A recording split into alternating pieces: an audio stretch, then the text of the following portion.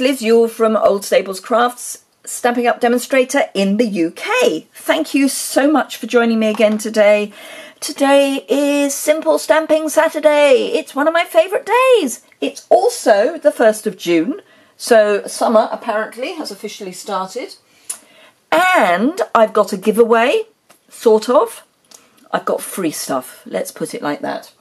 Um, and tomorrow I'm doing a 5k run and I think I must be mad. But there we go.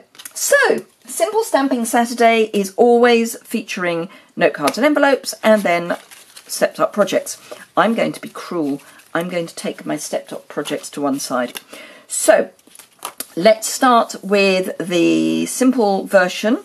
Simple means quick in my mind. I don't mean beginner, I mean quick. So I'm using the beautiful brand new Daisy Lane stamp set. This was a gift for anyone who attended the Stampin' Up On Stage convention back in April. It goes with, let me grab it. I say goes with, it's it sort of goes with the Daisy Delight. This has been in the catalogue for a while and you'll remember that there is a punch that goes with it guess what? There's another punch coming. Um, they're going to call it the medium-sized daisy punch, so we're all very excited about that. Um, I haven't got it yet. It wasn't available as part of the pre-order uh, items, so I do not have it, but I am still really excited about it. I don't need dimensionals. Why have I left them out? Because I'm a bear of little brain, probably. So, um, as ever, I try to keep my simple, quick version to minimal supplies. So I've got two ink pads and I have got an optional Wink of Stella brush marker thingy um, because I don't know if you can see, hopefully you can see that that's what I've put in the middle there and it will become apparent why uh, as I go on. So let's start making the new one. Oh, and because it's Simple Stamping Saturday, we mustn't have a naked envelope. So, pop those to one side. I'm using white note cards um, because I think that's the perfect background for this particular project. And I'm going to start, always helps if I can see my original really, doesn't it? I'm going to start with the lovely, and I really do mean it's gorgeous, um, Fern. It's just super, and I'm going to be sacrilegious. I'm going to stamp it off on my beautiful paper, but it's got to the point where it's beginning to get dirty, so it's time to change. So I'm going to stamp once and once again, just so there's some sort of background for my stamping. And then, oh no, I need that, I don't know why I'm closing it. Then I'm going to take my stalk and stamp that. Now I can get rid of my old olive. Mango Melody. I'm going to do this in a slightly odd order. I'm going to do the sentiment first. And that just goes down in the bottom right hand corner. And then the daisy. Now there is a right way up and a wrong way up for me. I think having the smaller petals at the bottom is the right way up. Ink it up well and pop it down.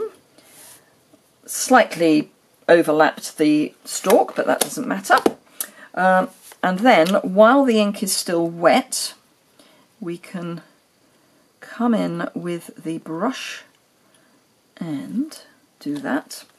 And then, a little bit of cheating, we can come in with the chalk marker and start to just blend that out a bit. So it's not as obvious that it's there.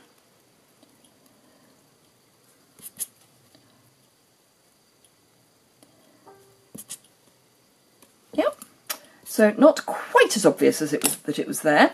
Um, and then if you want to, you can come in with a blender pen. This is only if you've made the mistake that I've made. Come in with a blender pen and just add a bit more mango over the top. And I always make sure that I've cleaned off my, my blender pen before I leave it. So that is our simple stamping card. So let's fold that in half. And it's just a note card. And then all we need to do is dress up our, don't need that, I need the old olive back, dress up our envelope. And that is just bringing in the fern, stamp off. And stamp. Simple as that, but it just gives something. Which I like a bit of something, a bit of frou-frou. So there we are, as say, that one I've slightly over, I got a bit too close. The reason for that was on this one I actually had to draw in lines because I'd gone too far away. I've now overcompensated, but there we go. Um, so those are our quick cards. Then, to step it up a bit, I have gone kind of, uh, it's a mix between realistic and not. And I've introduced the punch from the punch box that is carrying over. I want to say delightful. Ooh, what's it called? Punches Punches. Is it going to come under kits, do you suppose, in the new catalogue? Uh, no, apparently not. Well, that would be too easy, wouldn't it? Uh, punches, punches, punches. There we go. It's called, it's called It's Not In That bit of the catalogue. Marvellous, okay. Um, I haven't got my way round the new catalogue yet and it shows. And I can't show you. No, can't find it. Um, can't find it. I'm sure it's delightful something. Darling, that's what it is. Darling label punch.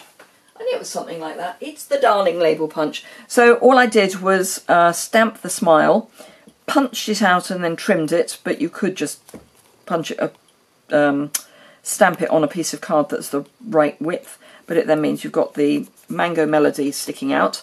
Uh, and then I've punched two Daffodil Delight and one Mango Melody um, daisy with a punch, uh, layered them up and added the faceted gem in the centre and then the medium and the small and the Mango Melody and for both I punched out of this Mango Melody layer but you wouldn't know. The only people that will know are you and me. So that's the stepped up version, and then the really stepped up version is this, and I have to say I'm thrilled with how this came together.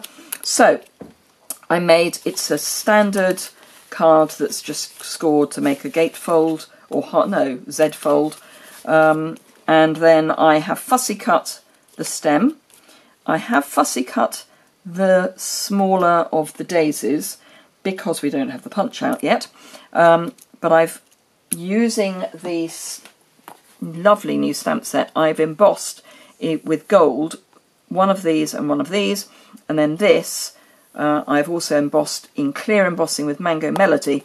And because I did it on vellum, there is enough time, because it takes a while for ink to dry on vellum, there's enough time to get your clear embossing powder over your stamp.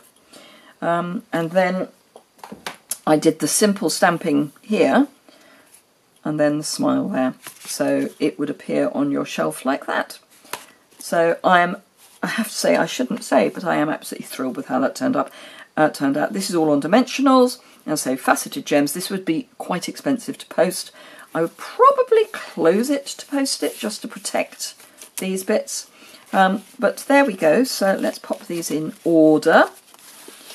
So quick, simple, a little bit more complicated with some punches and then some heat embossing, a fancy fold, etc. Now, I said I was going to do some free product. So, if for anyone who purchases the Daisy Lane stamp set through me from my online store, which is linked below, between launch day, the 4th of June, and the 22nd of July. That's the 4th of June to the 22nd of July. If you purchase this stamp set, I will gift you a full, as opposed to this, full set of gold faceted gems. Fingers crossed they don't go out of stock. Um,